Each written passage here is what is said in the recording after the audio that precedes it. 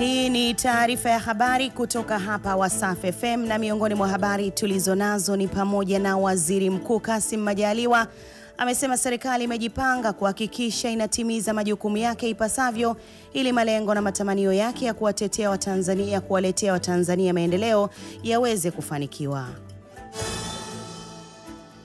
Jeshi la polisi mkoani Mtwara limekiri kuwa askari wake saba wanatuhumiwa kutekeleza mauaji ya kijana mmoja mkazi wa kijiji cha Rubonda wilaya ya Nachingwea mkoani Lindi.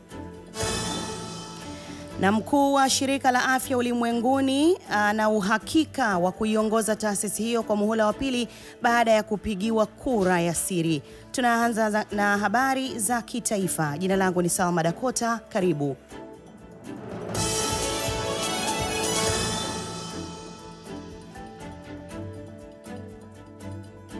Manyara. Waziri Mkuu Kassim Majaliwa amesema wasaidizi wote wa Rais Samia Suluhu Hassan wamejipanga kuhakikisha kwamba wanamsaidia kwa weledi wote na uaminifu ili malengo na matamanio yake ya kuwaletea Watanzania maendeleo yaweze kufanikiwa. Waziri Mkuu ameyasema hayo wakati akizungumza na wananchi baada ya kukagua mradi wa ujenzi wa nyumba sita, vyumba sita vya madarasa katika shule ya msingi Shikizi Kazaroho iliyoko wilayani Babati mkoani Manyara akiwa katika ziara ya kukagua miradi ya maendeleo mkoani humo. Aidha, waziri mkuu ameongeza kuwa serikali imeendelea kuweka mipango ya kuboresha sekta ya elimu nchini ili kila mtoto apate elimu bora. Hivyo amesisitiza kila panapokuwa na shule ya msingi lazima kuwe na madarasa ya awali na wazazi kuhakikisha watoto wote wanakwenda shule.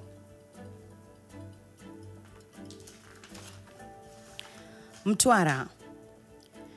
Jeshi la polisi mkoani Mtwara limekiri kuwa askari wake saba wanatuhumiwa kutekeleza mauaji ya kijana Musa Hamisi mkazi wa kijiji cha Ruponda wilaya na chingwea mkoani Lindi yaliyofanyika Januari 5 mwaka huu. Kamanda wa polisi wa mkoa wa Mtwara, kamishna msaidizi wa polisi Mark Njera amesema kwa mara ya kwanza kijana huyo alikamatwa na polisi Oktoba 20 mwaka 2021 katika nyumba ya kulala wageni ya Sadina iliyoko manispaa ya Mtwara Mikindani akitokea jijini Dar es Salaam na baada ya upekuzi akakutwa na fedha shilingi milioni 2.3 ambapo baada ya kupekuliwa zaidi nyumbani kwake Ruponda zikapatikana jumla ya shilingi milioni 33.7. Aidha, kamanda Njela ameongeza kuwa askari mwenye cheo cha mkaguzi msaidizi wa polisi Grayson Gaitani Mahembe ambaye ni miongoni mwa watuhumiwa wa mauaji hayo amejinyonga hadi kufa kwa kutumia tambala la deki Januari 22 mwaka huu akiwa mahabusu.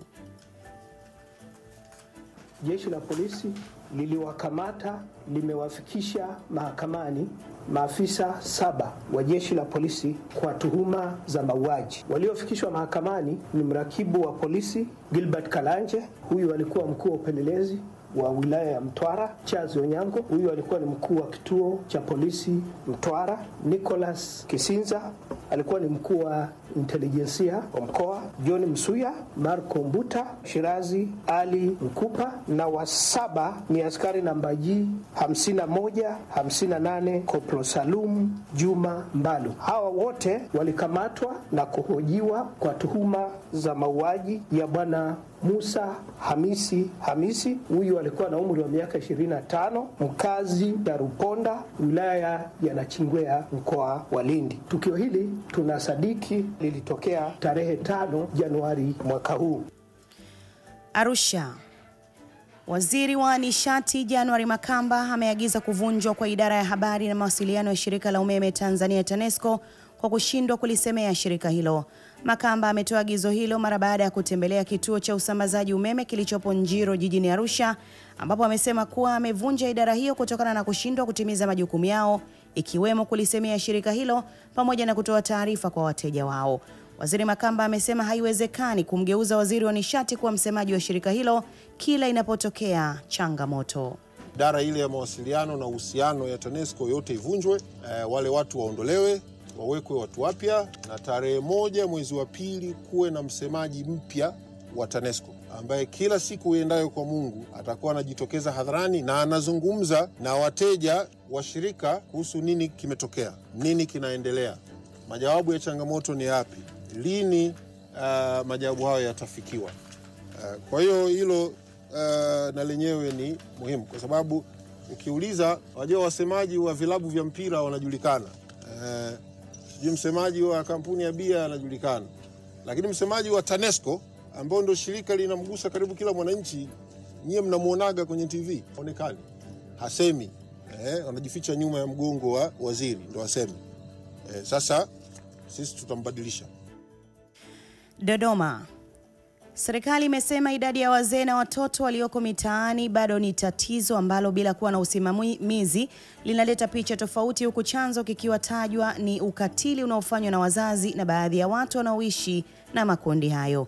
Waziri wa maendeleo ya jamii, jinsia na makundi maalum, Dr. Dorothy Gwajima amebainisha hayo wakati akizungumza na watoto wa kituo cha kulea watoto na wazee cha Upendo Hombolo jijini Dodoma. Dkt. Gwajima amesema ukatili umekuwa mkubwa katika familia ambazo nyingi hazijali hata wanapoona watoto wanaondoka nyumbani ama wazee na kwenda kuishi maisha ya taabu. Iringa. Waziri wa Nchi Ofisi ya Makamu wa Rais Muungano na Mazingira, Suleiman Jafo ameeleza kutoridhishwa na mradi wa ujenzi wa machinjio ya kisasa yenye thamani ya shilingi bilioni 1.1 uliopo katika eneo la Ngelewala, halmashauri ya manispaa ya Iringa. Hatua hiyo inakuja kutokana na kushindwa kukamilika kwa wakati na hivyo kuiagiza halmashauri hiyo kutumika mfumo wa force account ili kuondokana na kusuasua kwa mradi huo.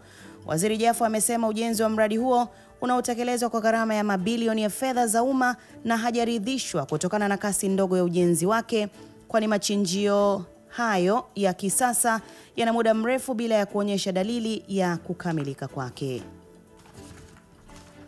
Mara Serikali imesema inatarajia kutumia zaidi ya shilingi bilioni mia moja fedha kwa ajili ya ujenzi wa chuo kikuu cha sayansi na kilimo wilayani Butiama mkoani Mara. Kauli hiyo imetolewa na naibu waziri wa mambo ya ndani ya nchi Jumanne Sagini katika kijiji cha Mwanzaburiga wakati akiongea na wananchi kwenye mkutano wa hadhara na kubainisha kuwa fedha hizo zimetolewa na Benki ya Dunia na ujenzi huo unatarajiwa kuanza muda wowote. Baadhi ya wakazi wa wilaya ya Butiama wamepongeza hatua hiyo huku akisema imechelewa sana kwani chuo hicho kinatarajiwa kuboresha uchumi wa wilaya na mkoa kwa ujumla. Arusha. Naibu Waziri Ofisi ya Rais Tawala za Mikoa na Serikali za Mitaa TAMISEMI David Silinde anayeshughulika na masuala ya elimu amewaagiza wakuu wa mikoa na wilaya nchini kusimamia kuhamasisha kwa kila mwanafunzi kupanda mti mmoja kila mwaka pamoja na kuandaa kanzi data ya miti iliyopandwa kwa mwaka mzima ili kukabiliana na athari za mabadiliko ya tabia nchi.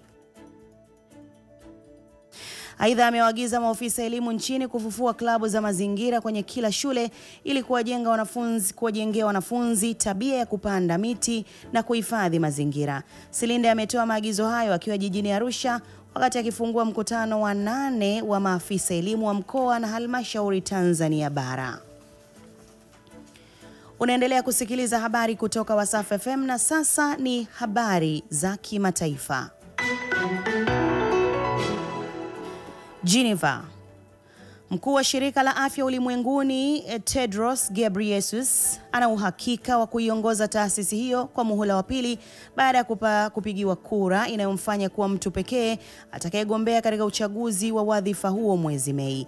Kiongozi huyo wa kwanza Mwafrika wa shirika hilo la Umoja wa Mataifa ameshukuru kwa uungwaji mkono alioupata baada ya bodi ya utendaji wa WHO kupiga kura ya siri iliyoidhinisha uteuzi wake wa kuwa mgombea pekee kwa wadhifa huo. Tedros, mmoja wa viongozi waliogonga vichwa vya habari katika mapambano ya kimataifa dhidi ya janga la uviko 19, amekiri kuwa muhula wake wa kwanza wa miaka mitano ulikuwa na changamoto ngumu na akasema ni heshima kubwa kupewa fursa ya kuendelea kupambana. Waziri wa zamani wa afya na mambo ya nje wa Ethiopia anatarajiwa kuchaguliwa kila bila kupingwa wakati mataifa yote 194 wanachama wa WHO watakapopiga kura yao ya kumchagua mkurugenzi mkuu. Wagadugu. Wafuasi wa utawala mpya wa kijeshi nchini Burkina Faso wamefanya maandamano kuunga mkono kuondolewa madarakani rais aliyechaguliwa kidemokrasia Roch Marc Christian Kabore. Maafisa wa kijeshi walimkamata Rais Kabore wakimtuhumu kwa jinsi anavyoshughulikia uasi wa itikadi kali nchini humo. Nchi sasa iko mikononi mwa kundi la Patriotic Movement for Preservation and Restoration MPSR linaloongozwa na Luteni Kanali Paul Henry Sandaogo. Vuguvugu vugu la MPSR limesema litarejesha utaratibu wa kisheria katika kipindi kinachowezekana.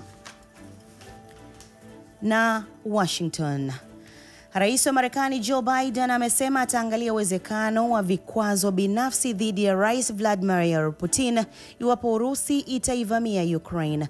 Rais Biden amesema kunaweza kuwa na madhara makubwa kwa dunia iwapo Urusi itachukua hatua kwa taifa hilo lililoko katika mpaka wa kusini magharibi mwa nchi hiyo. Kauli za Biden zimekuja huku viongozi wa magharibi wakirudia tahadhari zao kwamba Urusi italipa gharama nzito kwa uvamizi. Urusi inaishutumu Marekani na wengine kwa kuzidisha wasiwasi juu ya suala la tuhuma kuwa inapanga kuingia Ukraine. Mwisho wa taarifa ya habari kutoka hapa Wasafi FM.